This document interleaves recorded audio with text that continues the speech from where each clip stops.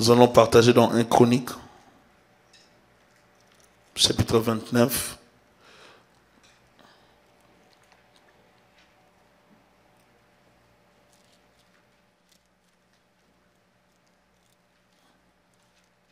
Nous sommes dans un chronique, chapitre 29, comme nous avons lu la fois passée. Amen. Donc nous parlons sur les protecteurs de la vision. Nous parlons dans chapitre 1 Est-ce qu'on peut lire nous tous ensemble? Un chronique, chapitre 29, verset 1 Amen. 1, 2, 3. Est-ce qu'on peut lire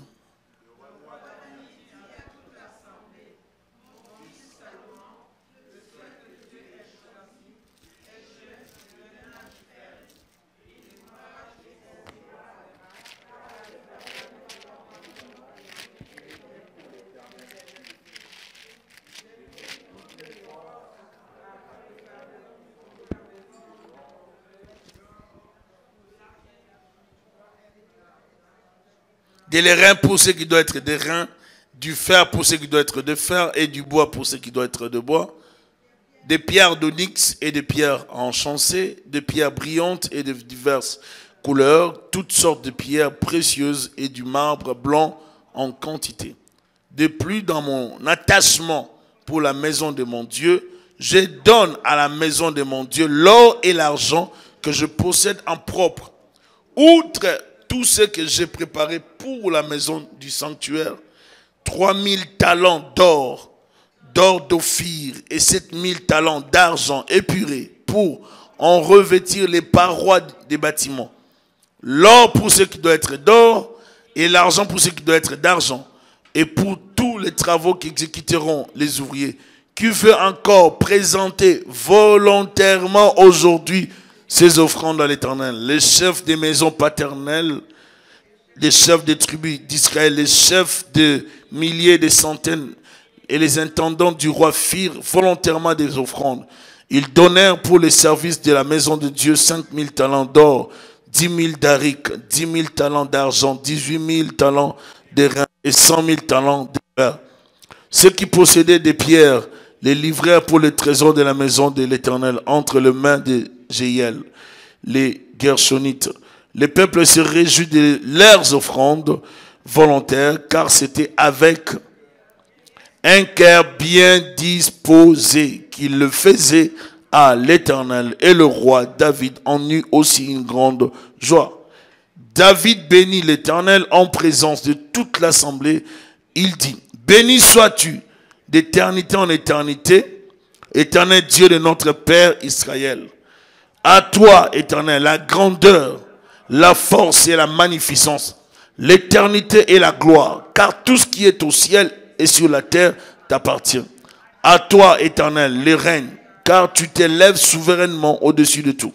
C'est de toi que viennent la richesse et la gloire. C'est toi qui domines sur tout. C'est dans ta main que sont la force et la puissance. Et c'est ta main qui a le pouvoir d'agrandir et d'affermir toutes choses. Maintenant, ô notre Dieu, nous te louons et nous célébrons ton nom glorieux. Car qui suis-je qui est mon peuple pour que nous puissions te faire volontairement ces offrandes? Tout vient de toi. Et nous recevons de ta main ce que nous t'offrons. Nous sommes devant toi des étrangers, des habitants comme tous nos pères. Nos jours sur la terre sont comme l'ombre, il n'y a point d'espérance. Éternel notre Dieu, c'est de ta main que viennent toutes ces richesses que nous avons préparées pour te bâtir une maison. À toi et à ton saint nom. C'est à toi que tout appartient. Je sais, oh mon Dieu, que tu sonnes le cœur et que tu aimes la droiture. Aussi, je te fais toutes ces offrandes volontaires dans la droiture de mon cœur. Et j'ai vu maintenant avec joie ton peuple qui se trouve ici t'offrir volontairement ses dons. Éternel Dieu d'Abraham, d'Isaac et d'Israël, nos pères maintiennent à toujours dans leur cœur de ton peuple ses dispositions et ses pensées et affermis son cœur en toi. Donne à mon fils Salomon un cœur dévoué à l'observation de tes commandements, de tes préceptes, de tes lois, afin qu'il mette en pratique toutes ces choses et qu'il bâtisse le palais pour lequel j'ai fait les Voyez la prière de David avant de partir. Il avait un souci que son fils arrive à réaliser le plan de Dieu. Amen.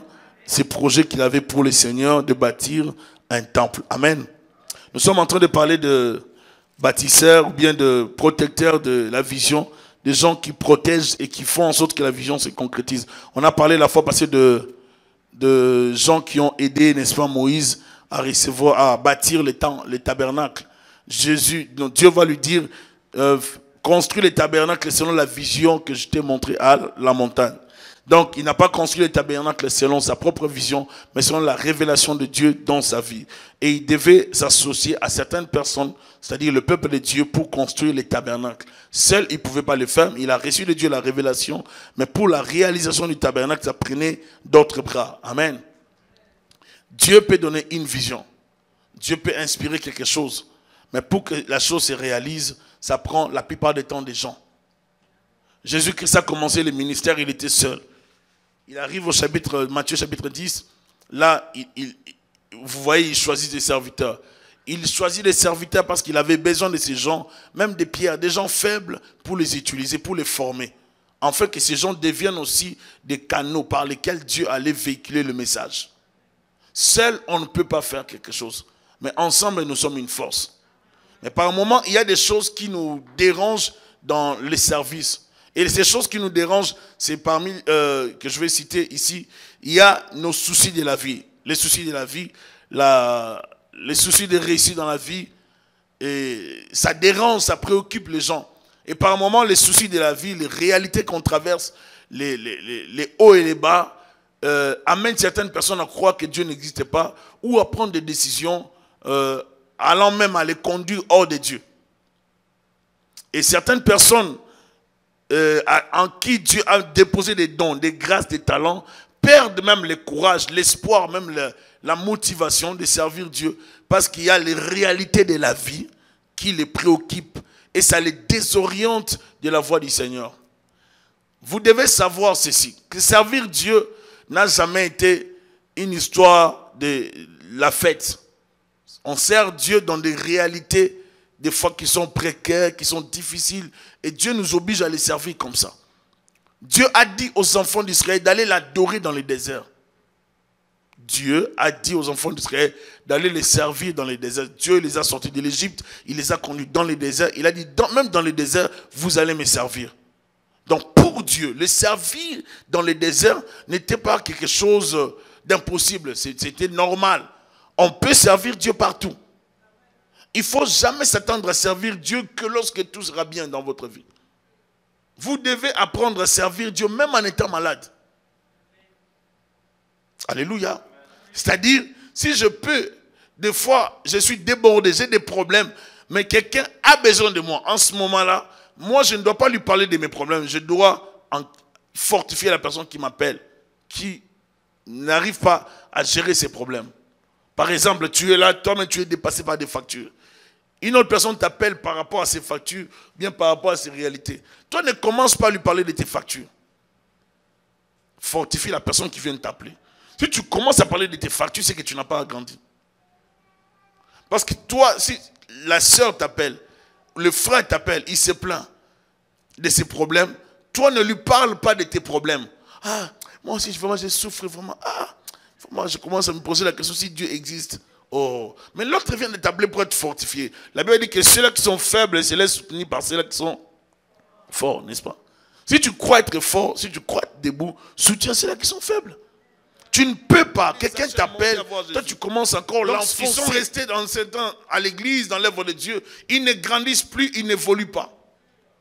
Bien aimé, il ne faut pas arrêter de croître. Il faut grandir, continuer à grandir dans l'œuvre de Dieu. Devenir un homme, une personne mature. Alléluia. Parce que l'église a besoin de tout le monde. Et dans l'œuvre de Dieu, il faut savoir que la croissance a son importance. Si vous ne grandissez pas, vous freinez l'avenir de plusieurs. Vous devez grandir. Nous devons grandir dans la foi. Et lorsqu'on grandit, on comprend la réalité de la vie chrétienne. La réalité de la vie chrétienne nous amène à vivre plusieurs choses. Nous vivons des moments difficiles. Le Seigneur nous apprend à surmonter le mal par le bien. Dieu nous, motive à travailler, à surmonter les mal par le bien. Je, je, souffre, mais je dois faire de mon mieux pour résister à cela. Alléluia. Un bâtisseur, ce n'est pas quelqu'un qui se plaint à tout moment. Un bâtisseur, ce n'est pas quelqu'un qui se plaint par rapport à la pluie. J'ai vécu en France, je travaille dans la construction.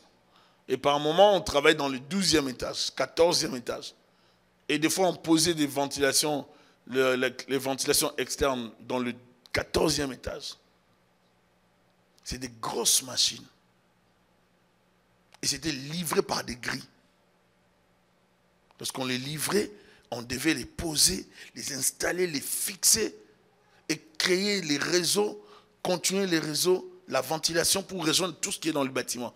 Les entrées d'air, les sorties, les ventiloconverteurs pour convertir, faire le froid, faire la chaleur, toutes ces choses. Il fallait faire ça. Et des fois, tu vas travailler en plein hiver. Tu sens que les doigts, ça gèle. Mais si tu te plains, tu ne vas pas manger. Si tu travailles, tu auras les salaires à la fin du mois. Tu as le choix. Tu veux travailler ou tu veux rester à la maison. Il n'y a que des gens qui ne comprennent pas l'importance du travail. Quand vous travaillez pour Dieu, vous êtes en train de, remplir votre compte. Alléluia. Ma soeur, mon frère, je vous l'ai dit. Si, vous si votre employeur vous paye, Dieu vous payera. Vous n'arrivez pas à dire Amen parce que vous voulez voir l'argent. Si vous ne travaillez pas pour, Dieu, vous ne serez pas payé. Vous serez payé lorsque vous travaillerez pour le Seigneur. Le travail dans le Seigneur attire la bénédiction. Même celui qui vient nettoyer les toilettes. Celui qui fait quelque chose pour Dieu attire la bénédiction dans sa vie. Et je vous assure qu'il faut prendre ça au sérieux. Si vous ne comprenez pas ça, ça ne vous attirera pas la bénédiction tu veux que Dieu te bénisse, apprends à servir Dieu. On ne sert, sert pas Dieu plutôt dans des plaintes. On ne sert pas Dieu dans le murmure. Je ne voulais pas les faire, mais je vais les faire. Le frère Claude m'a demandé de les faire. Moi, je n'aime pas ça. Moi, quand je viens là, ce n'est pas pour qu'il m'envoie. Moi, je ne suis pas les gens de frères là. Tu es quel genre de frères alors? Parce que les gens de frères bibliques acceptent qu'on les envoie. Si tu n'es pas les gens, les frères qu'on envoie, ça veut dire que tu n'es pas chrétien. Il n'y a pas une autre vie chrétienne. La vie chrétienne, c'est une vie chrétienne de soumission, d'humilité, de simplicité. Alléluia. C'est ça la vie chrétienne. Protecteur de la vision, c'est quelqu'un qui est humble, qui se donne pour permettre à ce que l'œuvre de Dieu avance. Il est dispo. On peut lui demander un service, il se dispose. On peut lui demander de faire quelque chose, il le fait d'un bon cœur. Il ne se plaint pas. Il travaille pour Dieu. Il se donne. Frère, est-ce que tu peux aller dépanner telle personne qui est à tel endroit? Si Oui, j'ai la possibilité, ou je peux le faire. Il le fait, il ne réclame pas les carburants. Quelqu'un dit Amen. Si tu peux aller déposer telle personne à tel endroit. Les sœurs, dépose-la au métro. Oh non, parce que si tu n'as pas les carburants, tu n'as pas l'argent, on comprend. Mais si tu as l'argent, et que tu as la possibilité de payer ton... Pourquoi tu demandes 20 dollars ou 30 dollars? Alléluia. Il faut avoir un bon cœur. Lorsqu'on sert Dieu, on ne manifeste pas de plaintes. Un protecteur de la vision ne se plaint pas auprès des bébés spirituels. On a reçu quelqu'un qui vient nouvellement à l'église, qui vient de se convertir. Une nouvelle personne. Toi, tu commences à te plaindre auprès de cette personne pour que la personne reste pour que la personne puisse s'engager avoir le goût de travailler pour Dieu Non. Si tu commences à, si vous allez, vous arrivez dans une entreprise, on vous embauche, vous êtes, euh, vous avez un poste dans cette entreprise. Maintenant, il y a un ancien qui vous voit. Qui, ah, ici les directeurs sont méchants, sont des mauvaises personnes. On commence à vous te dire des mauvaises personnes par rapport au directeur. Faites attention à cette personne. Faites attention. Sûrement la personne veut vous évincer, vous écarter au fait par la ruse. Est-ce que vous me suivez? Parce que quelqu'un qui t'amène des, choses comme ça, c'est une mauvaise personne. Parce que si toi, tu viens d'arriver, on vient t'embaucher, tu as ton poste, tu commences à travailler, mais un ancien vient te voir pour te détruire, par rapport aux responsables, par rapport aux choses, il faut, il faut prendre ça avec des pincettes, il faut, faut prendre ça avec prudence. Ne te confie pas à une telle personne. Parce que si tu sors une phrase, la même personne va prendre ta phrase et l'amener ailleurs. Est-ce que vous êtes avec moi? Bien aimé, dans la vie, il faut être sage. On ne bâtit pas dans les murmures. On ne bâtit pas l'œuvre de Dieu dans des plaintes inutiles. Ici, David dit à toute l'assemblée d'Israël, mon fils Salomon, le seul que Dieu ait choisi, est jeune d'un âge faible, et l'ouvrage est considérable, car ce palais n'est pas pour un homme, mais il est pour l'éternel Dieu. Très important d'établir cette vérité. Les palais, les temples n'est pas pour mon fils. Les temples est pour Dieu. Et mon fils est jeune. Moi, son père, je donne ça, je donne ça, je donne ça. Et je vous demande aussi de donner. Il n'a jamais été dit dans la Bible que les seuls riches, les riches doivent donner. Dieu va plus le dire que celui qui arrive dans le temple avec son offrande, s'il trouve qu'il a un problème avec quelqu'un, qu'il laisse son offrande. La Bible n'a pas dit qu'il parte avec son qu'il part avec son offrande. Non, la Bible dit laisse ton offrande sur l'autel, va te réconcilier. Vous voyez un peu ce que Dieu, pour Dieu, pour Dieu c'est important. Tu ne dois pas sortir du temple avec ton offrande. Un instructeur, un bâtisseur, un protecteur de la vision doit comprendre que l'offrande fait partie du culte. Lorsque je viens à l'église, si j'ai, j'ai dit, si j'ai mon offrande, je ne peux pas sortir sans donner mon offrande. Je dois donner mon offrande. Ça doit être incrusté dans la tête. Je dois l'avoir. Je pars au travail, je suis pressé. Ce pas un problème. Laisse ton offrande.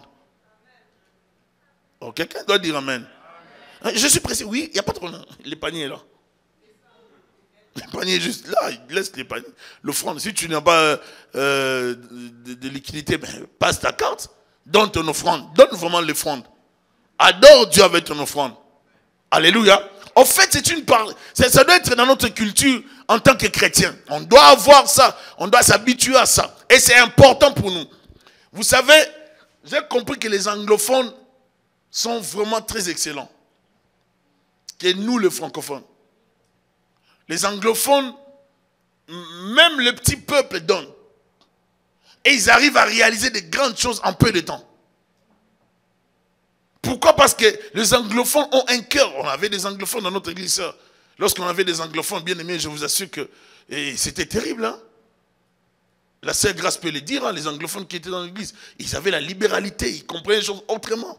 Les anglophones ont une façon de se donner. Et j'ai pris Dieu qu'il enlève dans la francophonie l'esprit qui dérange la francophonie. Il y a un esprit, je ne sais pas si ça vient de la France, bien de la Belgique, mais ça vient du monde francophone. Ça, influence négativement la francophonie. De telle sorte que les francophones sont par moments beaucoup plus parleurs, ils parlent beaucoup, mais ils n'aiment pas faire. Mais c'est un peu français, donc vous voyez un peu. C'est un peu français, donc euh, on parle beaucoup.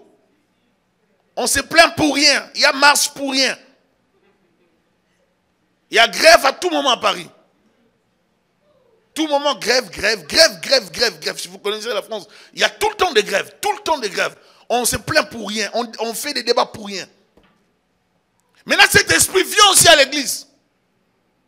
Où certaines personnes croient que l'église, c'est comme la France.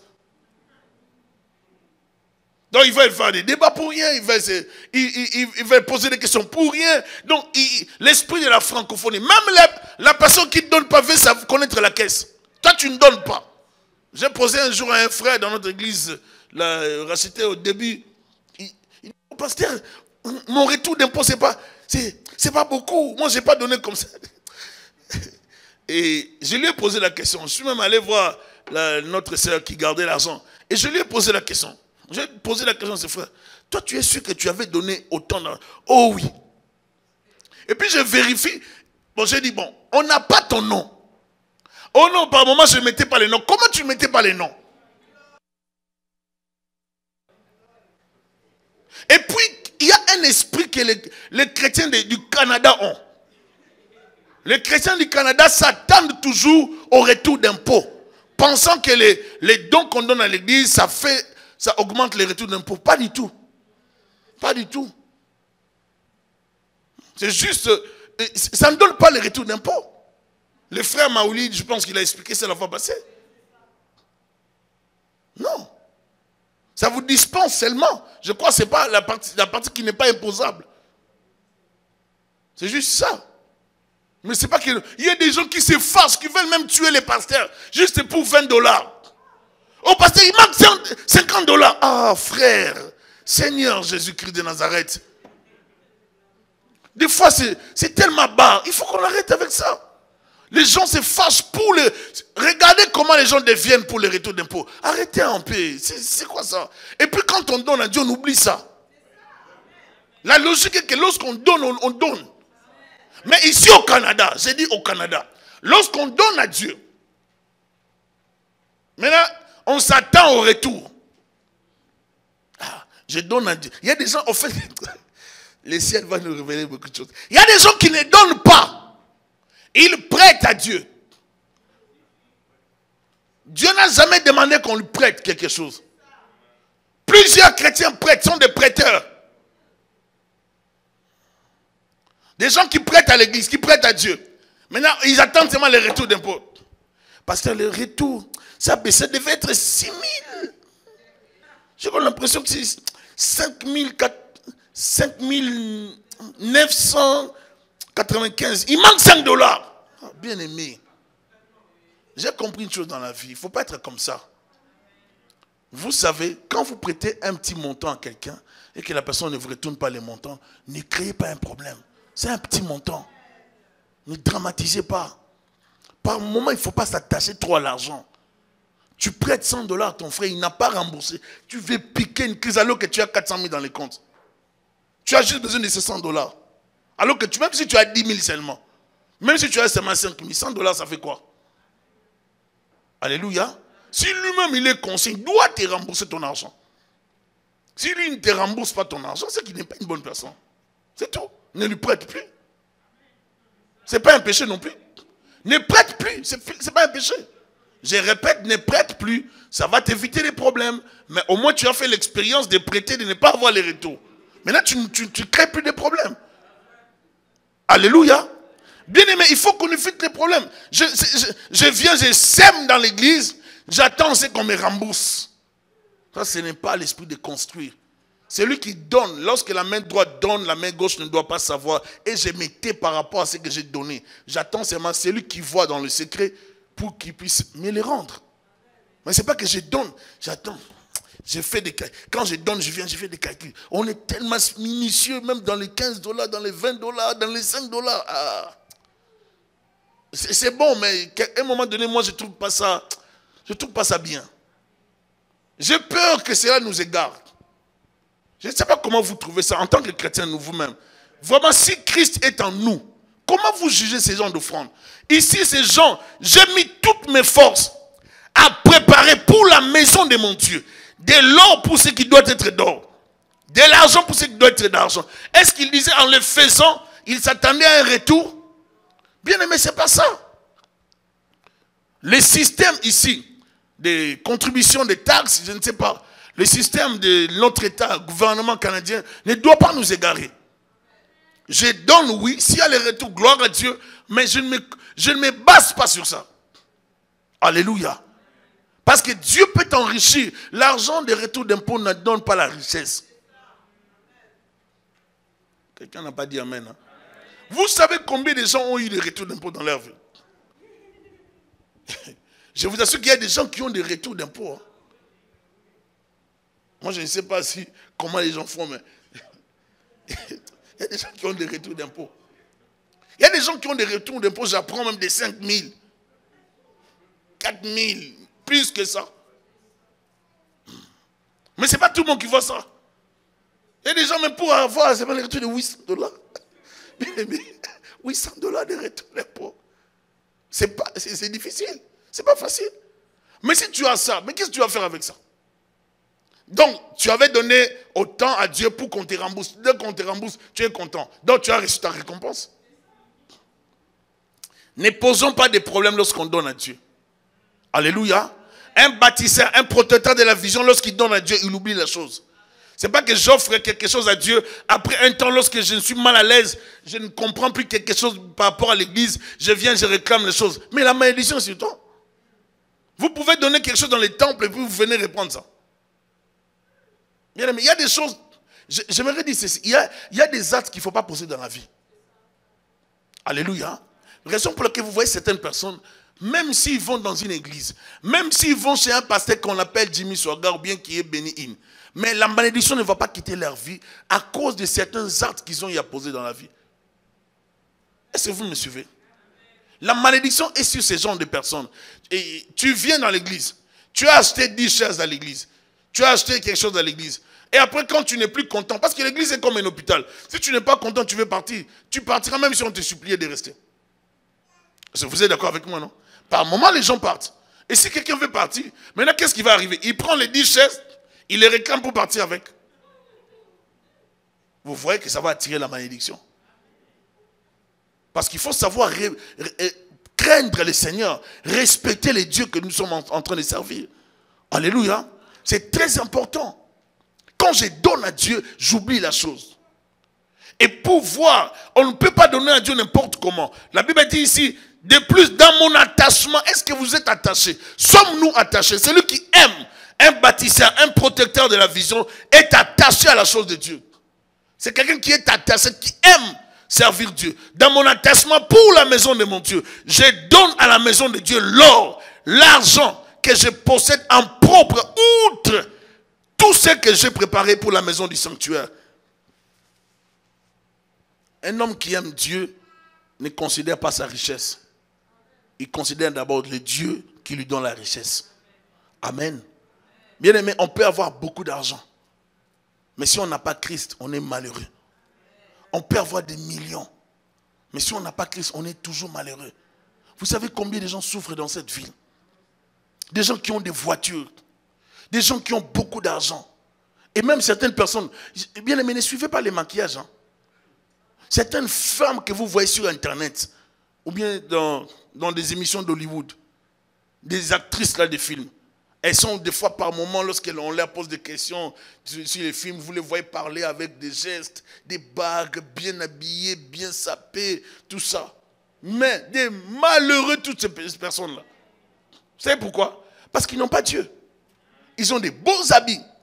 Et même par moments, la folie les amène à, porter des habits euh, en, chair, des, des, viandes, comme des choses bizarres. Vous avez déjà vu ça, non? C'est quoi le dire hein? C'est comme, des viandes. Donc, c'est quoi Vous voyez là où les démons amènent les gens?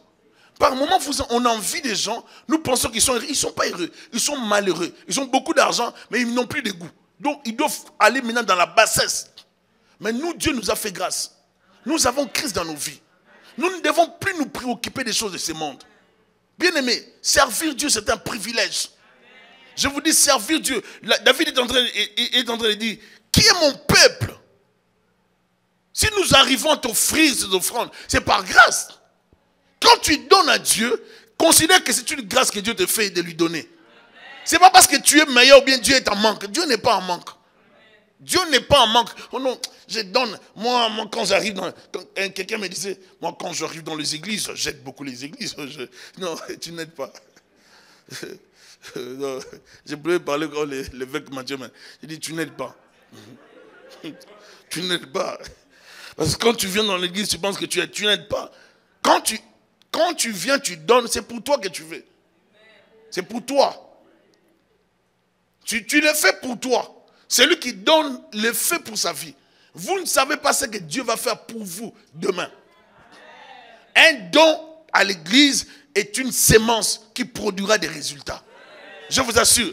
Et quand tu le fais, reste dans la paix. Fais-le pour toi et pour tes enfants. Alléluia. Ne le fais pas pour que les gens te voient. Raison pour laquelle plusieurs personnes n'ont pas la bénédiction. Les gens vont croire qu'ils seront plus bénis lorsqu'il y aura plus de prophétie. Et puis on dit de donner, ils donnent. Mais lorsqu'on va leur dire, venez donner pour les bâtiments, ils ne donnent pas. Ils pensent qu'il n'y a pas la bénédiction. C'est ce que vous pensez. C'est que plusieurs personnes pensent. Mais ce n'est pas ça. La bénédiction est là. À chaque fois que je fais une sémence dans l'église de Dieu, il y a une bénédiction qui s'y attache. Chaque sémence attire la faveur de Dieu. Et si on le fait d'un bon cœur, d'un cœur sincère, la bénédiction sera notre partage. Alléluia. On ne bâtit pas une église avec des paroles. On ne bâtit pas l'église qu'avec des paroles. On peut prier beaucoup, comme on fait un mois maintenant. On va prier beaucoup. Mais si vous ne donnez pas les offrandes, on va ici. Les messieurs qui ont bas, ils nous chassent. Donc l'église, ce n'est pas seulement les parlants Gloire à Dieu. Après les randaya maintenant donnons les offrandes. Si on ne donne pas, il n'y a, pas de vie, on sort d'ici. Alléluia. Si vous voyez les méga churches aux États-Unis, il y a des grandes églises, c'est parce qu'il y a des gens qui ont donné et ils ont construit des grandes églises. Tout dépend de la vision. Si on a la vision de bâtir une grande église, on aura la possibilité d'avoir cette grande église. Comment? C'est en donnant. Alléluia. J'ai vu une église euh, en moins de 7 ans, 8 ans euh, à Toronto. En moins de 7 ans, 8 ans. Anglophone. Ils ont commencé les, cotisations. Ils viennent de finir la construction. une grande église. Mais c'est commencé une petite église comme la nôtre, comme nos églises, centaines de personnes. Après, après, après, maintenant, ils ont construit une grande église. Maintenant, ça attire maintenant des gens. Est-ce que vous êtes avec moi?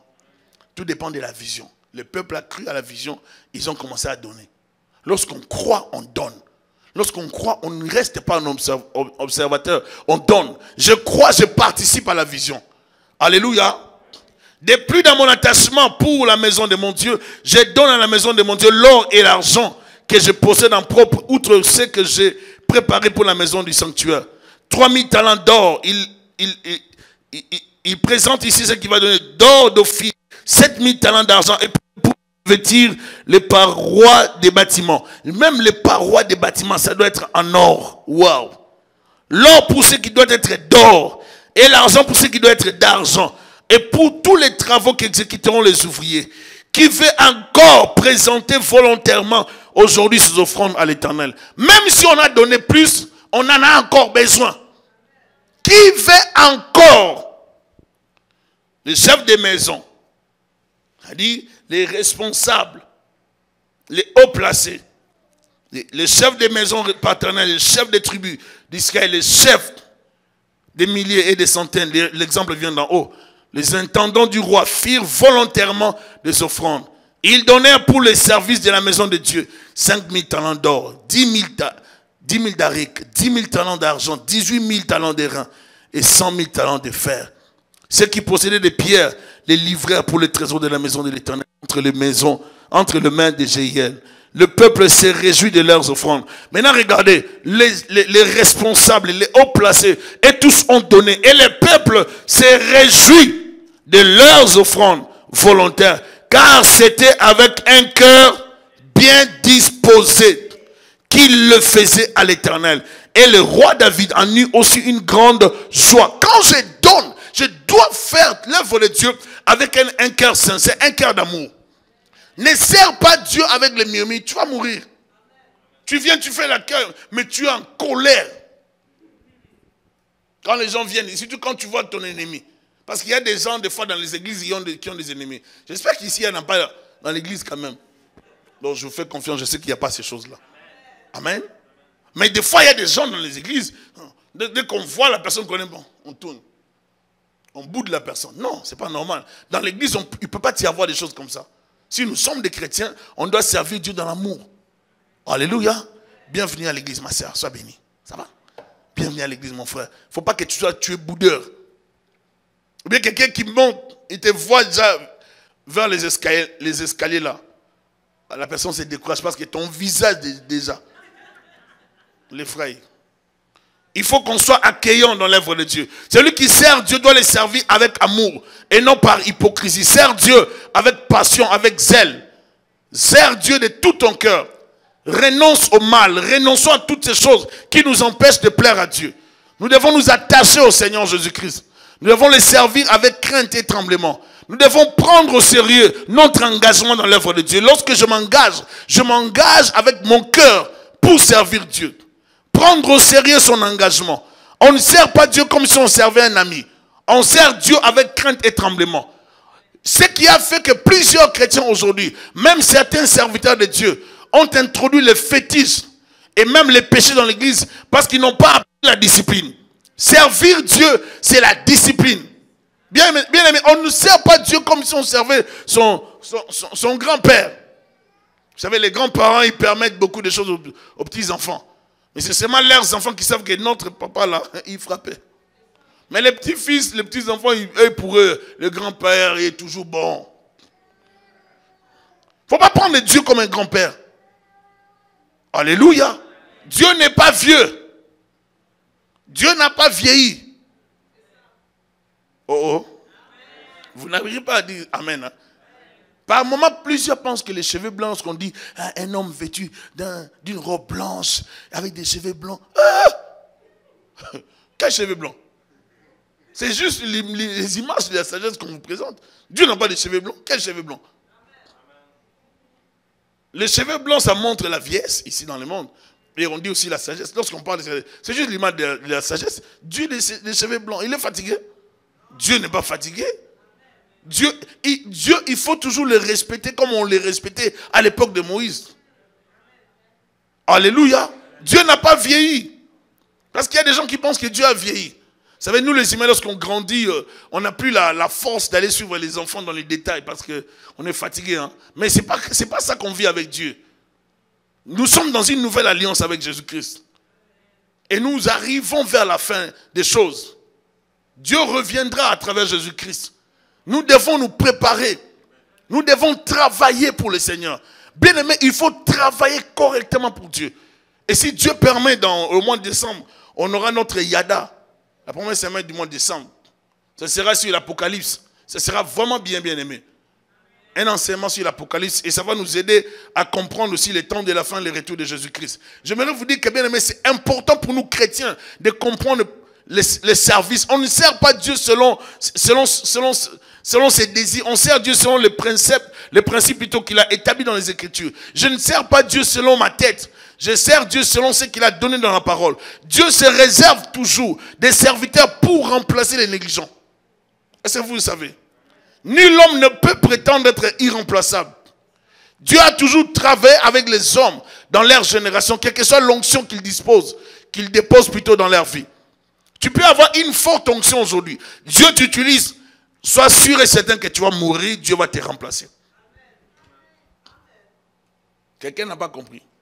Où est Moïse? Où est Élie?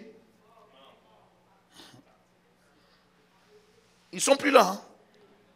Je viens, homme de Dieu, venir faire les succès bien-aimés. Et surtout les serres. Les serres, les serres. Les serres, vraiment que Dieu nous aide avec les serres. La Bible dit, David a tué Goliath. Écoutez les femmes. David n'a rien fait. Lui, il a tué seulement Goliath. Toutes les femmes ont commencé à chanter. David a tué ses 10 000. Maintenant, elles font la comparaison avec les rois qui étaient au palais.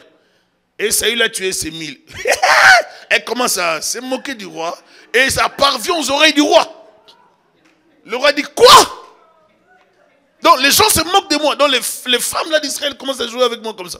Ils sortent, ils prennent les armes. Où est David? On doit les tuer. Juste à cause de ça. Les femmes là. Les sœurs, vous devez aider les gens. Alléluia. Les frères là, ils viennent dans les. Je vois une, mère, une, femme de l'église qui est venue me voir. Pasteur, il a l'onction, il a la puissance. Je dis oui, c'est quel homme de Dieu? Elle m'amène les DVD, je regarde comme ça. Eh, ça, c'est un serviteur de Dieu. C'est pas un musicien. Oh non, c'est vraiment un homme de Dieu. oh, mais juste la présentation, mais donne l'air d'un musicien. C'est pas vous comprenez. Vous devez avoir à un moment donné la capacité d'appréciation. On ne peut pas aller se livrer entre les mains de n'importe qui. Un chrétien doit avoir les goûts, les sens de discernement. Et c'est un don que tout chrétien doit avoir. On ne peut pas se retrouver dans n'importe quelle église.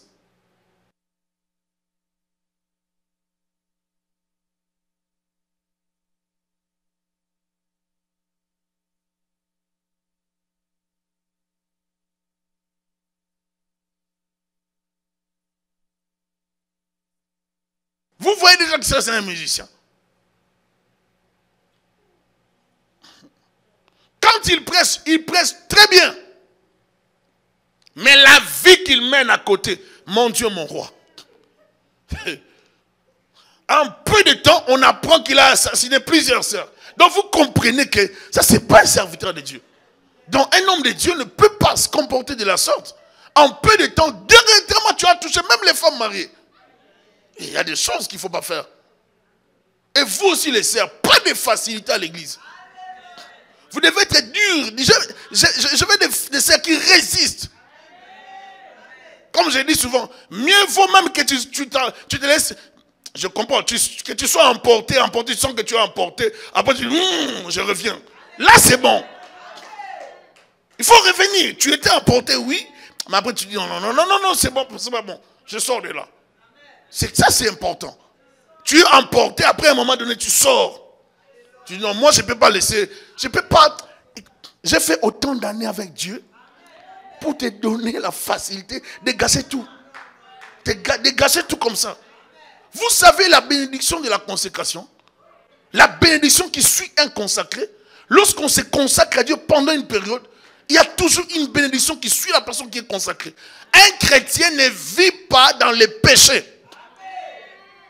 Une église qui n'en parle pas, ce n'est pas une église, c'est une synagogue de Satan. Un chrétien ne vit pas dans des flirts. Un chrétien ne vit pas dans l'alcoolisme ni dans les bois de nuit.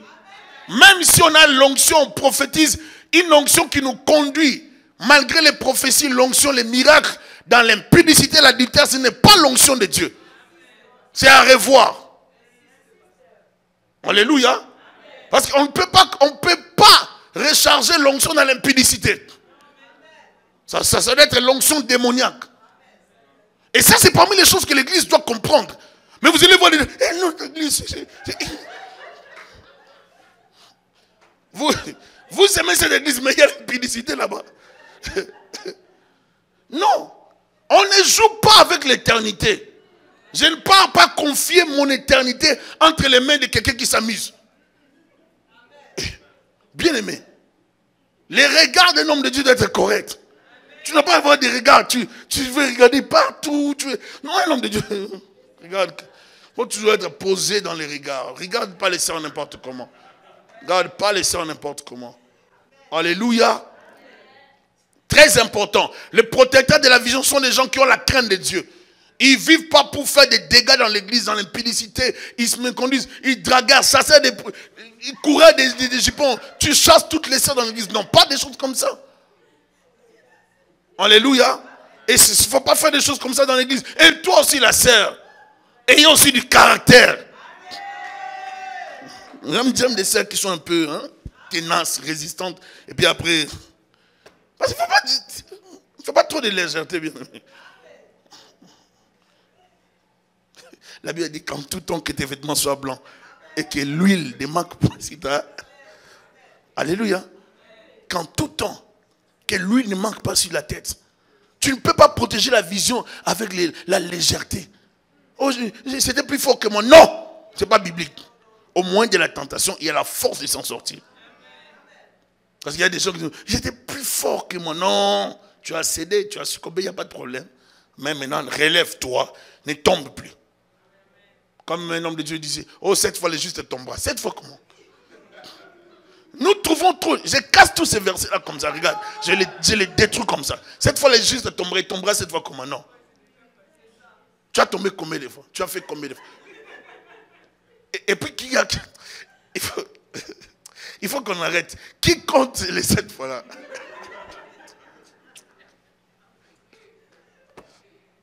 C'est toi ou bien c'est les sept esprits? Donc vous voyez que cette fois, les justes tombera. Oh, dans toi, tu, attends d'accomplir sept fois et puis que tu te relèves. Non, non, non, tu crées des dégâts par ta mauvaise vie, tu chasses les gens de l'église. Est-ce que vous savez ça? Il y a certaines personnes qui sont découragées de venir dans les églises à cause de certains frères. On dit que tu es responsable. Or, tu n'es pas responsable. Un responsable ne drague pas. Drague pas. Ne fait pas, des avances. Il ne il va pas loin dans son appréciation d'une soeur. Il gère les compliments. Pas des compliments du genre, oh, oh ma soeur. Non, il, gère. Il gère les compliments, c'est important. Tu gères les compliments. Les responsables, je pense qu'ils vous comprenez quand même. En même temps, je vous parle aussi parce que, vous savez, un responsable ne le fait pas. Je sais que vous n'êtes pas comme ça, mais je le dis quand même. Parce qu'il y a d'autres qui vont devenir des responsables. Un responsable ne peut pas commencer à dire, oh, ma soeur, ah, oh, non, il faut toujours se gérer. Il faut gérer les paroles, il faut gérer. Parce que vous ne savez pas juste une phrase que vous allez dire à une personne, ça va créer un feu dans son cœur, alors que toi tu n'es même pas là. Et puis demain tu commences à avoir des problèmes, tu ne comprends pas. Oh mais toi, pourquoi tu as des phrases comme ça, comme un allumeur? Nous ne voulons pas de ça dans l'église. On n'allume pas les cœurs des gens. C'est interdit dans la promesse. Nous ne voulons pas de ça. Parce que c'est un esprit de destruction. Ce n'est pas un esprit de bâtisseur. Quand tu fais ça, tu vas attiser le feu dans le cœur d'une personne. Et si tu dis la personne avait déjà des idées. Alléluia. C'est important dans l'église d'éviter des compliments exagérés. C'est important d'éviter. Il faut éviter. Je me rappelle d'une histoire d'une sœur. On était à l'église d'abord, on était trop jeunes dans, la foi. Et puis, c'était une des filles qu'on encadrait. Elle, avait, elle était fiancée à l'époque. Et puis son fiancé ne lui disait rien. Maintenant, il y avait un frère de l'église. Lui, il aimait la sœur. Lui, dès qu'il voyait la sœur, quel compliment. Il appréciait toujours dans les détails les habits de la sœur. L'habillement. Oh là, mais t'es bien habillé, ma sœur. Oh là là, Seigneur. Oh. oh. Et ça fait. une fois maintenant, la sœur est venue. Mais, mais Thierry, mais écoute. Euh, mais tel, il m'apprécie trop. Regarde, frère, il dit rien. On est fiancés, mais lui, il dit rien. Mais l'autre, il se prononce bien. Vous allez créer des problèmes dans, les couples et dans les relations pour rien, parce que vous allez trop avec des compliments, compliments. Gère tes compliments. Gère-le. Alléluia. Il ne faut pas détruire les couples des gens. Dans l'église, on ne détruit pas les mariages de quelqu'un. Il faut éviter ça. Amen. C'est important dans l'église. Ne pensez jamais que Dieu ne pourra pas vous remplacer. Si vous servez Dieu, il ne faut jamais rêver. Dieu peut te remplacer comme pas possible.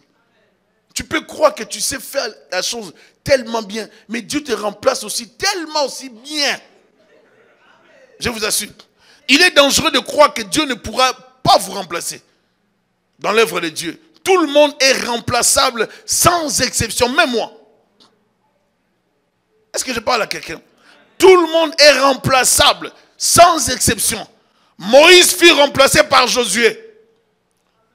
Un soldat guerrier et non un prophète. Regardez la contradiction de Dieu. Dieu prend un prophète, un grand homme de Dieu, qui voyait Dieu. Dieu pouvait le remplacer par quelqu'un d'autre qui avait aussi la capacité de la voyance comme Moïse. Mais Dieu ne le fait pas. Regardez comment Dieu fait. Pour diriger le même peuple, Dieu élève Moïse. Lorsque Moïse part, Dieu le remplace par un soldat.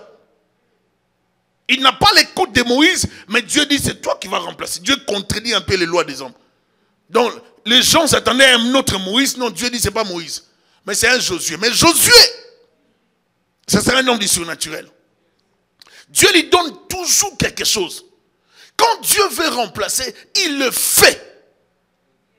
C'est pour ça qu'il faut jamais servir Dieu avec légèreté. Quand vous voyez quelqu'un servir Dieu avec négligence, c'est un destructeur. C'est un destructeur. Tu devais faire la quête. Tu ne viens pas. Tu n'appelles pas. Tu viens, tu te présentes à l'église et tu frimes comme un forme. On doit se voir. Oui, ce n'est pas correct. Bien aimé, on ne fait pas les de Dieu comme ça. Tu devais modérer, tu ne viens pas, tu n'appelles pas, tu ne t'excuses pas. Quand tu viens, tu frimes aussi, tu boudes. Maintenant, tu mets un visage un peu renfrogné pour qu'on ne te pose pas la question. On ne vient pas s'intimider dans l'église du Seigneur. Ce n'est pas un caractère chrétien. Alléluia. C'est païen, je, je, précise, hein, c'est païen. C'est très condamnable. Je devais diriger les cultes. Je ne viens pas et je boude maintenant comme ça. Celui qui va venir me voir, il va... Oh, c'est païen. Il faut m'informer de ça. Je vais voir la personne, je vais te parler. C'est pas c'est pas chrétien. Quand je sais que je dois faire quelque chose, je dois le faire. Je le fais avec mon cœur. Ça m'attire la bénédiction. Mais si je sais que je ne peux pas le faire, j'appelle mon responsable. J'appelle. Non, frère que je ne peux pas être là. Si tu peux arranger avec quelqu'un d'autre pour me remplacer. Là, c'est poli. Là, c'est sage. On comprend. Mais ce n'est pas que tu ne viens pas. Et quand tu viens, tu frimes. Tu ne vois même pas le leader qui est devant toi. Toi, le leader pour toi est, est plus petit que toi. Toi, tu ne toi, tu ne Dans l'église ici, pas les problèmes d'âge. Toi, ton problème, c'est seulement l'âge. Lorsqu'on a commencé l'église, les rochers, on était sortis un jour avec mon frère. Il y a une, dame qui était là à l'église qui est venue nous voir.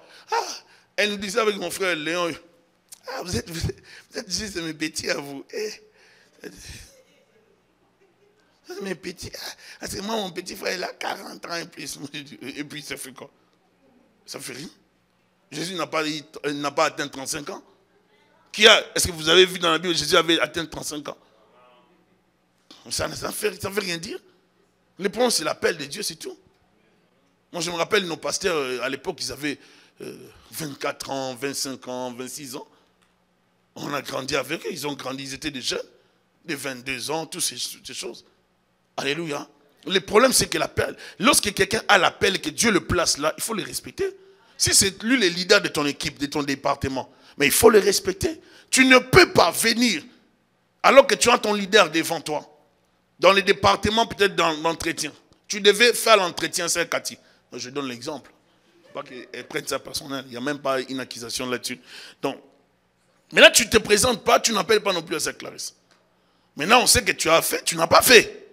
Maintenant, on se retrouve là les dimanches, tout, on commence à faire les choses speed, speed.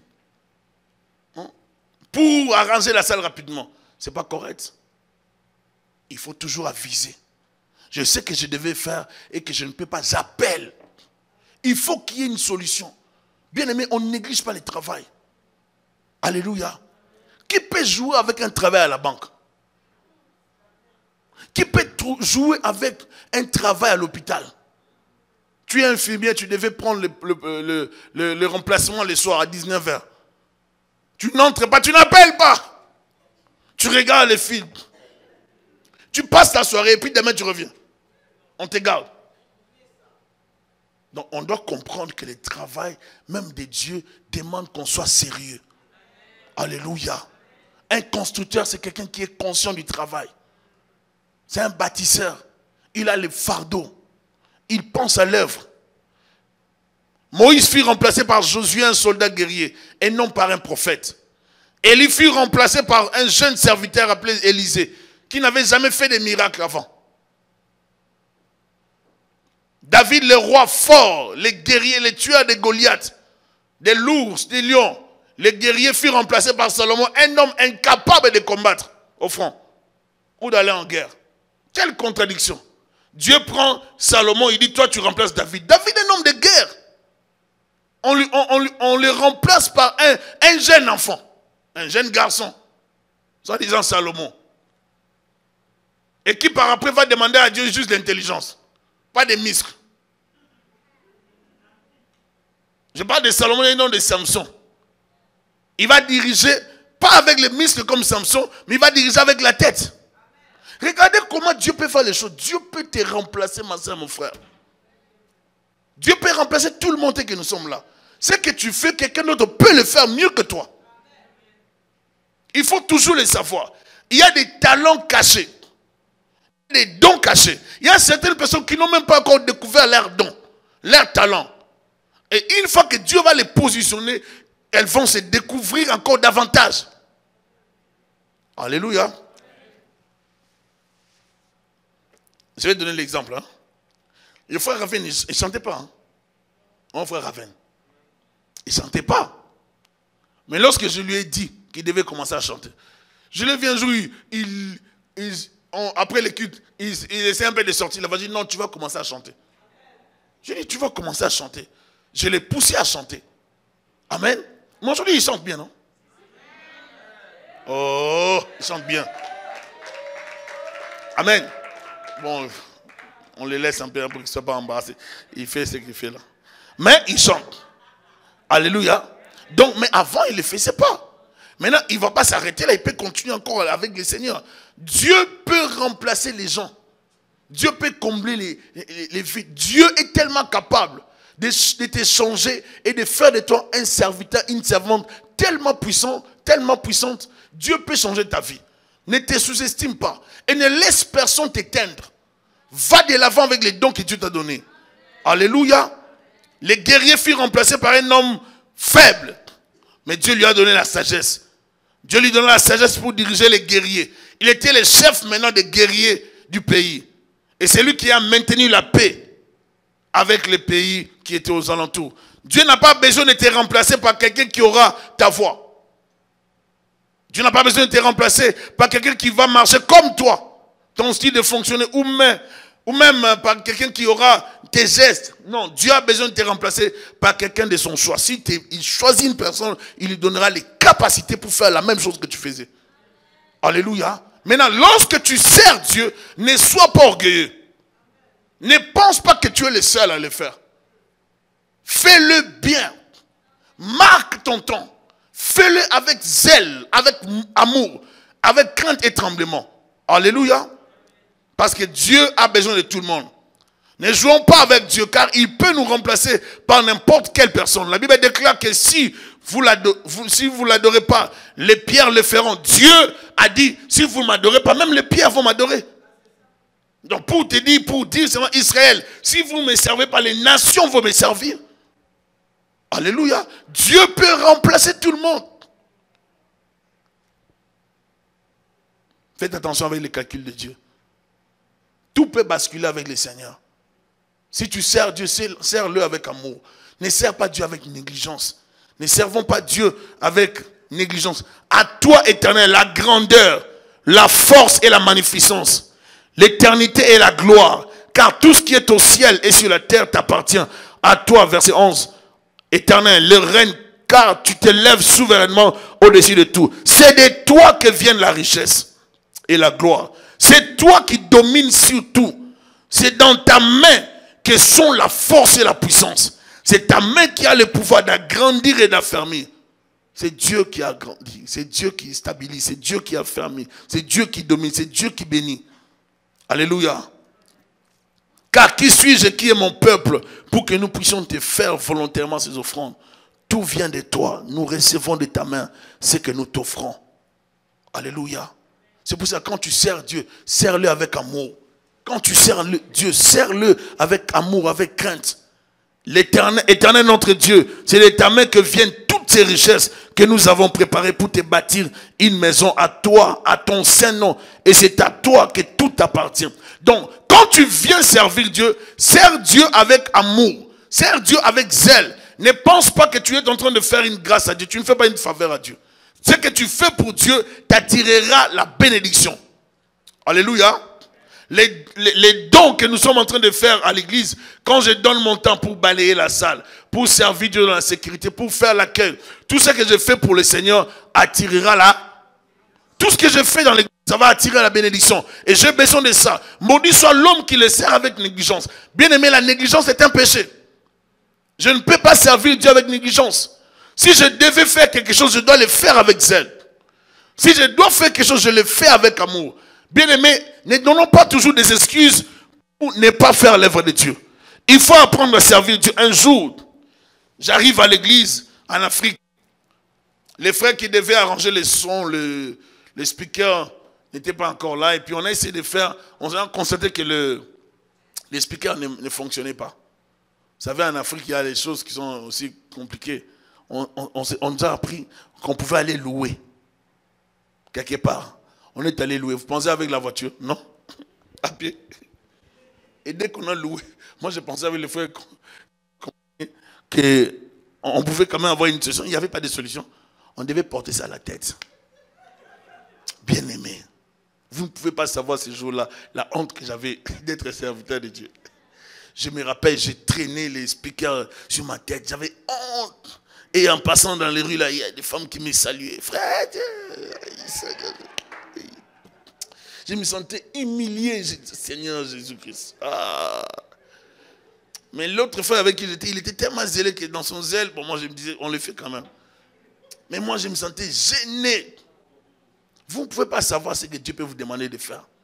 Dieu peut te briser, pour te tailler. Dieu peut te faire passer par des moments d'humiliation. Juste parce qu'il veut te former. Si, écoutez, si vous avez raté des leçons dans l'école de Dieu, ces leçons-là vont vous rattraper ici. Si ça ne vous rattrape pas dans, la promesse, ça va vous rattraper dans une autre église. Mais ça va te rattraper. Dieu le fait toujours. Si tu n'es pas brisé, Dieu fera tout pour que tu sois brisé. Je vais vous expliquer quelque chose. Vous savez pourquoi certaines personnes ne deviennent pas des bons serviteurs de Dieu? Pas devenir des serviteurs de Dieu. Parce que Dieu veut en finir avec une sémence mauvaise qui est dans leur vie. Et ces gens-là tiennent aussi à cette sémence. Vous allez voir un frère orgueilleux, une personne qui a l'orgueil tellement. Et Dieu veut juste en finir avec l'orgueil. Tant que tu résistes, Dieu aussi te résiste. Et Dieu te bloque aussi. Alléluia. Ne freine pas ta croissance par l'orgueil. Sois humble. Celui qui, un apprenant, ne pose pas de problèmes pour apprendre. Il cherche à grandir. Alléluia. Bien aimé, si vous voulez servir Dieu, apprenez avec humilité. Un bâtisseur, un, protecteur de la vision, c'est quelqu'un qui apprend, qui regarde, qui apprend par observation. Il écoute, il apprend, il apprend tous les jours parce qu'il veut grandir. Est-ce que vous avez la soif de grandir? Est-ce que vous avez le désir de grandir? Si tu veux grandir, rassure-toi que Dieu va t'utiliser. Alléluia. Bien aimé, demain, après-demain, il faut que tu sois mature. Nous devons grandir. Tu ne peux pas rester au même niveau. Je viens vous dire aujourd'hui que nous devons grandir. Bâtir l'œuvre de Dieu, c'est facile de dire qu'on bâtit. La plupart des temps, lorsque l'œuvre atteint un niveau, tout le monde acclame Dieu. Mais lorsqu'on traverse les moments difficiles pour la, pour la construction de l'œuvre de Dieu, pour bâtir l'implantation de l'œuvre de Dieu, plusieurs personnes ne veulent pas ces moments-là. J'ai posé la question à un homme de Dieu, à mon frère, pasteur Léon, hier. J'ai dit, mais ces frères-là, je les vois dans toutes les activités. Ils prient finalement dans quelle église? J'ai dit, mais ces frères-là, je l'ai vu encore ce temps. Il m'a dit, ah Thierry, lui, il est partout. Il est dans quelle Il m'a dit, ah Thierry, lui, il n'est pas dans une église. Il est partout. Il est là seulement pour dire, prêche. Non, c'est une bonne parole. Waouh, gloire à Dieu. Mais tu pries où? Oh, mais choisis une église. Tu ne peux pas te promener dans toutes les croisades. Partout, tu, tu fais l'œuvre. Tu, tu, as l'air d'un serviteur de mort. Commence d'abord commence l'église. Tu ne peux pas te promener dans toutes les conventions de la ville. Oh, quelqu'un me répond. Tu ne peux pas te retrouver dans toutes les. Tu arrives à gauche, tu es dans une convention. Bien aimé. Un frère qui n'est pas encadré, c'est un rebelle en devenir. Un frère qui n'est pas brisé, c'est un rebelle en devenir. Et les rebelles, les rebelles vous devez savoir les, comprendre comment les dépister. Alléluia. Je, trouve anormal qu'un frère de l'église soit manipulé ou manipulable facilement. Si quelqu'un vient te mentir aujourd'hui, te dit, ah, c'est frère Benjamin, viens, est-ce que tu peux venir avec moi? J'ai la, vision de, de commencer. Comment tu peux avoir la vision dans une vision? Tu ne peux pas avoir la vision ici dans une vision. Dire Amen. Hein? Non, si tu le fais, ça veut dire que tu es un destructeur. Va commencer à l'extérieur. Alléluia. Toutes les conventions, tu es là. Croisade, tu es là. Comment tu es là Toi, c'est juste pour dire Amen. La grosse Bible ne fait rien. Tu vois si je vais changer?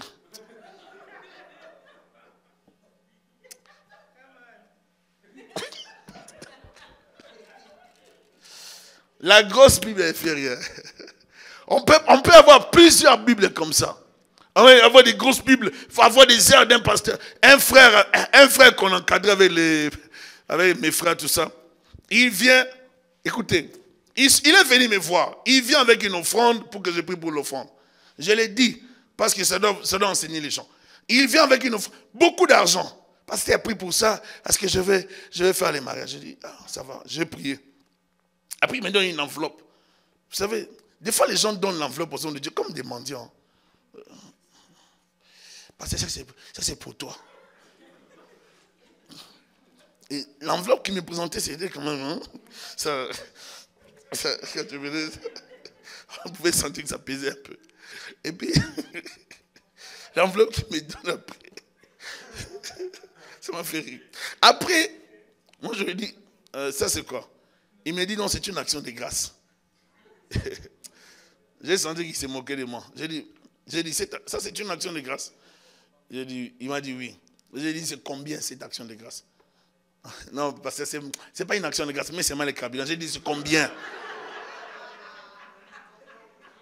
Il m'a dit, c'est 20 dollars. Moi, j'ai dit, oh, si tu viens avec autant d'argent, plus de 6 000, 7 000 pour les mariages, et tu donnes une offrande de 20 dollars d'action de grâce. J'ai dit non, je lui ai dit, c'est bon. Tu vois le frère qui est là-bas, c'est lui qui s'occupe de, des offrandes, hein, des actions de grâce, tout ça. Va les voir. C'était à l'époque le frère Claude. J'ai dit, va les voir, va lui donner. On est passé, c'est pour le cabine. J'ai dit, non, non, non, non, non, non, frère. Faut quand même pas. Mais calculer comme un petit enfant, frère. Va donner au frère Claude. Bien aimé. Il faut un moment donné. Et puis quand je lui disais, je vois que le mariage ne va pas. Il ne me croyait pas. Vous savez, des fois, vous savez, quand vous donnez une parole de connaissance de quelque chose qui va arriver, la plupart des temps, ça, les gens n'ont pas besoin de, vous croire parce que ce n'est pas encore arrivé. Ah, pasteur, comment tu dis ça? Moi, je dis non, mais c'est ce que je te dis comme message. Il a, pris ça comme ça. Après, il a envoyé tout cet argent. Ils sont allés pour la dot. Les gens se sont battus. Ils n'ont même pas donné cet argent. Et la sa famille a bouffé tout l'argent. Maintenant, dans la honte, il commençait à me bouder maintenant. Après, du coup, je vois le frère, il devient serviteur de Dieu. Bien aimé, je vais dire ceci. ça, c'est la pensée. Je dis aux rebelles. Vous n'avez pas besoin de, porter des talites. Vous savez, les talites, euh, on n'a pas besoin de porter. Même si tu portes ça, ça ne te donne pas l'onction. Ça ne te donne rien. Ça représente juste euh, un truc d'Israël, c'est tout. Ça ne donne pas l'onction. Oh, est-ce que vous êtes avec moi? J'ai vu les frères porter les talites et mettre les chapeaux des juifs et entrer dans l'église avec une grosse Bible, avec des attitudes, comme s'il était devenu pasteur. C'est pas ça. C'est quoi ces histoires-là? Et puis à un moment donné, on les regarde, on les regarde, on dit ça va, on va te, on On les calcule dans la prière et ils manifestent. On dit, mais ça c'est quoi? Ça n'a pas besoin de faire des choses comme ça. Est-ce que vous êtes avec moi Bien aimé, on ne fait pas l'œuvre de Dieu. On ne sert pas Dieu pour. Bien aimé, si tu veux être un serviteur de Dieu, une servante de Dieu, tu n'as pas besoin de créer les, les serviteurs selon toi. Ne te crée pas, ne, ne deviens pas serviteur en désordre. Ça, c'est l'esprit des destructeurs des églises. Des frères qui veulent devenir des pasteurs sans passer par l'encadrement. Des gens sans parcours de Melchisedec. Ça n'existait pas dans l'église. Des gens sans parcours, toujours, j'étais dans telle église, j'ai fait ça. Tu as fait où? Donne-moi les rapports de ton pasteur là. Tu étais qui dans cette église là? Bien aimé, à un moment donné, un chrétien doit être vrai. Tu n'as pas besoin de mentir dans l'église pour avoir une position. Ce n'est pas chrétien. Vous intimidez tout le monde. Moi, j'étais serviteur de Dieu. Tu étais serviteur de Dieu où? Et tu as fait quoi? Et pendant que tu étais serviteur de Dieu, est-ce que tu craignais Dieu? Bien aimé, on n'a pas besoin de ça. J'étais servant de Dieu. Moi, je sers Dieu. Moi, je l'ai dit ici. Dans les équipes, peuple de Dieu, travaillez dans l'amour. Vous faites l'accueil, travaillez dans l'amour. Dans l'entretien, travaillons dans l'amour. On respecte la personne qui dirige. Dans la chorale, on travaille dans l'amour. C'est pas qu'on fait l'entretien ici. La sœur Clarisse est là-bas, la sœur Catine, la sœur Clarisse ne sait pas, la sœur Clarisse ne sait pas si elle doit arriver ici, la sœur Catine ne sait pas si elle doit arriver là-bas. Bien aimé, je sais que ça ne se fait pas, mais je le dis quand même. Ce sont des, des manières préventives, tout ça. Comprenez? Donc, la sœur Clarisse s'arrête seulement là. Elle a peur d'arriver ici parce que c'est la zone de la sœur Cathy. Oui, bien aimé. Non, non, je, non, t'es pas comme ça, ma sœur. Non, c'est pas toi. Je parle seulement. Dans, la salle des enfants là-bas, la sœur qui encadre, il y, en a deux. Elle ne se parle pas, mais ils encadrent les enfants. Ça ne va pas passer. Les enfants vont comprendre. Ou bien il y aura, il y aura un souci. Si deux personnes s'accordent, il y a une force. Vous savez que si vous travaillez en équipe, vous, vous, devenez tellement fort, capable. Est-ce que vous avez vu, c'est un groupe ivoirien vous allez voir deux sœurs, quatre sœurs qui chantent ensemble dans l'amour. Et on voit les talents, comment ça les élève. On amène l'esprit de Mbiliabel et de Tchalamon dans l'église, l'esprit des chantres païennes, et on amène ça dans les églises. On amène l'esprit de papa ou de conflits dans les églises. Où les frères veulent être les seuls qui entendent, qui fait tout. Et on se dispute l'esprit de conflit dans l'église. C'est-à-dire, on est comme les chefs dans l'église. Ça, c'est pas rien. Dans l'église, nous sommes une équipe. On n'amène pas l'esprit de Myriam Makeba dans l'église. On n'amène pas l'esprit de musiciens païens dans l'église. Non, ça n'existe pas dans l'église. J'insiste, suivez-moi bien. L'esprit de Myriam Makeba, ce n'est pas chrétien dans l'église. Ils vont tchaka C'est à l'extérieur, l'esprit de, de reggae, je ne sais pas, de, L'esprit de Johnny Hallyday ou bien de Michael il est le seul. Tout le monde est derrière. Oui, c'est ça. Mais pas à l'église. À l'église, nous sommes une équipe. Nous chantons ensemble. Si c'est toi qui lis aujourd'hui, gloire à Dieu, demain, ça peut être aussi une autre personne. Alléluia. Nous chantons. Est-ce que vous savez qu'il y a des dons, des talents dans tout le monde? Mettons que Raphaël fait à l'alto. Lui, il fait le ténor. Moi, je fais le soprano. Nous fusionnons. Est-ce qu'on doit chercher avec, avec, mon, ma, voix soprano et puis son alto, un ténor de l'autre? On doit chercher qui dépasse l'autre.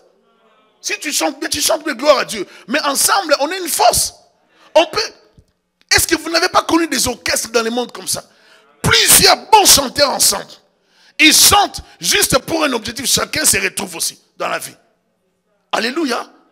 Il ne faut pas amener l'esprit du monde dans l'église. C'est un esprit qui détruit. J'insiste, cet esprit détruit les églises. Ou dès qu'on arrive à l'église, on cherche comme les comités, comme on était dans notre pays, les impairs. On cherche des groupes de gens. Nous, on est de, de, tel coin. Nous, on est de tel coin. On parle des choses comme ça à l'église. Dans l'église, on a l'amour. On ne vient pas au cercle. On ne vient pas balayer la salle tout le temps. C'est boudon. Ou quand tu balayes mal, l'autre voit les erreurs, mais il ne peut pas parler. On ne vient pas chanter dans l'église avec des, combats. Ou quand la personne qui joue au synthé ne peut pas parler avec la personne qui entend parce qu'ils ne s'entendent pas. C'est un esprit mondain. Ça, ce n'est pas chrétien. Et chaque personne qui vient avec l'esprit de s'attirer les gens pour créer une division dans une équipe, dans l'église, c'est un destructeur. Est-ce que vous me suivez? Dans toutes les équipes de l'église, si toi tu travailles, tu veux que les gens tournent autour de toi et pour montrer que l'autre n'est pas correct, n'est pas bon, toi tu es une mauvaise personne. C'est toi la mauvaise personne. On ne travaille pas comme ça. On n'est pas dans l'équipe des jeunes pour se créer des guerres. On ne se dispute pas de positions. On sert Jésus-Christ. Alléluia. Oh non, mais toi tu passes tout le temps devant les gens. Moi aussi je dois passer. Oh. La victoire de David devant Goliath, c'était la victoire d'Israël. Si Goliath avait remporté la victoire, ça allait être la victoire des Philistins. Nous devons savoir par un moment, Dieu peut nous représenter par une seule personne. Mais nous devons nous retrouver dans la personne. Alléluia. Vous ne voyez pas même dans des, dans des spectacles ou bien, je pas, des compétitions, lorsqu'une personne se, euh, se, retrouve dans la deuxième, troisième position, tout, son pays se retrouve dans cette personne. Tout son peuple se retrouve dans cette personne. Et on, la soutient, on est derrière la personne. Pourquoi? Parce qu'on croit que la personne peut arriver jusqu'à la, la fin, gagner, remporter la victoire. C'est comme ça. Lorsqu'on est une équipe, on est une équipe. On ne travaille pas pour chercher la gloire. Lorsqu'on entend, on, fait la liste des, cantiques, on, on entend ces quatre cantiques. On fait déjà quatre, on fait déjà trois chansons. Maintenant, moi, j'attends seulement la quatrième chanson. Mais la troisième ne, ne nous sort pas de la présence de Dieu. On ne doit pas l'arrêter. Les chantres, il faut dire Amen. le, troisième cantique, on ne doit pas l'arrêter parce que toi, tu dois entonner le quatrième cantique. Maintenant, quand on n'entonne pas, on n'arrête pas le quatrième cantique, tu te fâches. Tu ne chantes plus. Là, tu chantes plus, tu commences à regarder. Je dois entonner. Mais nous devons être spirituels. Je vous insiste, ce sont des choses qui se passent dans les... J'ai grandi dans l'église. J'ai dit l'autre fois, je suis comme Obélix. Je suis tombé dans la parole. Alléluia. Donc tu ne peux pas faire ça dans l'église. Donc toi dans l'église, lorsque tu dois entonner le quatrième cantique, mais les gens sont emportés dans le troisième, ça, descend tellement l'onction. Tu veux qu'on mette le quatrième cantique pour que ça nous casse. Par moment, vous allez voir, les gens adorent bien. Vous nous changez des cantiques alors que l'autre, elle a été tellement bien. Ne les faites plus. laissez les gens adorer Dieu. On adore tellement bien parce que l'autre doit entonner. Oh, quel, quel cantique Laissez-nous dans la présence de Dieu. Parce qu'à un moment donné, vous allez changer de cantique. Ça dérange même l'adoration des gens. Ça dérange la prière des gens. Parce que vous, on était dans. Oui, prends tout. Et me dit, attends, tu nous vires, tu nous, on quitte, oui, prends tout, Seigneur. Jéhovah est son nom. À un moment donné, il faut penser aux gens qui adorent Dieu. Il faut travailler dans l'esprit de bâtir et non de détruire. Même dans l'adoration, il ne faut pas nous déranger. Je vois des fois, on nous dérange dans l'adoration parce qu'on veut à tout prix changer des cantiques. Arrêtez un peu avec cette histoire-là. On ne veut plus de ça dans l'église. Lorsqu'on adore Dieu, on adore Dieu. On adore Dieu. Si les, cantiques nous maintiennent jusqu'à la fin, ben, gloire à Dieu. L'essentiel pour nous, c'est de prier avec ces cantiques. Nous, on a déjà fait une veillée juste avec un cantique. Une veillée. Je ne peux pas oublier ça. On a tellement chanté, tellement chanté qu'avec des frères, on battait les mains tellement. On a transpiré avec les frères.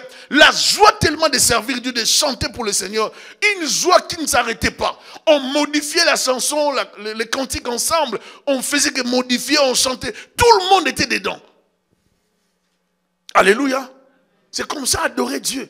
Mais ce n'est pas que l'adoration, vous, venez entendre les gens qui chantent, vous, vous êtes là pour dire, hum, Alléluia. Non. on chante, vous aussi, vous chantez. Nous participons, nous tous, nous adorons Dieu en élevant nos voix. Alléluia. C'est ça l'adoration. Nous chantons pour la gloire de Dieu. Et vous qui chantez ici devant, vous ne chantez pas dans l'objectif qu'on puisse vous voir. Moi, à mon tour, je vais faire ça. Non. On chante pour la gloire de Dieu. On chante dans l'humilité, dans la simplicité. Un orgueilleux dans l'équipe de la chorale, ce n'est pas un, constructeur, c'est un destructeur. Dans l'équipe de la chorale, on chante pour la gloire de Dieu dans l'humilité. On chante dans la simplicité. C'est mon tour, j'entonne. Je rate ça, je vais entonner les dimanches prochains, ce n'est pas un problème. On ne veut pas entonner les mardis et les jeudis, on fait seulement les dimanches. Parce que c'est les dimanches qu'il y a beaucoup plus de gens. Les mardis et les jeudis, je ne peux pas entonner. Lorsqu'on te dit d'entonner les mardis et les jeudis, ah, je vais à l'école. Maintenant les dimanches, non, je suis là. J'encourage tout le monde à servir Dieu. Alléluia. J'aimerais vous encourager à servir Dieu avec amour. Je vais conclure pour vous dire ceci. Servir Dieu, ça prend la crainte de Dieu. Ça prend un, esprit d'engagement. Soyez engagés. Craignons les Seigneurs. Nous, ne faisons pas une, partie des, jeux. Nous ne sommes pas en train de, nous amuser dans l'œuvre de Dieu. On ne s'amuse pas. On sert Dieu pour des vrais. Craignons les Seigneurs. Il revient bientôt. Amen. Le but de ces messages est de nous conscientiser à servir Dieu avec un esprit de bâtir, pas un esprit de détruire. Un esprit d'élever Jésus-Christ. Amen. Hein? Déclare après mon Seigneur Jésus. Fais de moi un instrument entre tes mains. Un instrument de bénédiction. Un instrument de, de gloire. Jésus, utilise-moi pour éclater ta gloire dans ma génération. J'ai besoin de toi. Manifeste ta grâce et ta gloire dans ma vie. Au nom de Jésus. Je te prie ce soir de me donner la force de marcher dans la crainte de ton Saint-Nom. Jésus, viens m'accompagner par ton esprit de sagesse et d'humilité. Apprends-moi à te servir dans ma génération. Apprends-moi à te servir dans mon temps. Que je ne rate pas cette saison pour te servir. Viens mon aide. Marche avec moi. En ton Saint-Nom, j'ai ainsi prié. Père, je bénis ton peuple et je le recommande entre tes mains. Je te dis merci pour tout ce que tu as fait, pour tout ce que tu feras. Laisse que cette parole qui a été sémée ce soir puisse apporter des résultats. Que cette parole puisse fortifier, encourager, aider, construire, instruire, corriger s'il le faut, Père de gloire. Seigneur, là où nous avons failli, viens à notre aide. Mais nous le faisons pour ta gloire. Seigneur, bénis quelqu'un qui a suivi cette parole dans le nom de Jésus-Christ. Amen. Nous voulons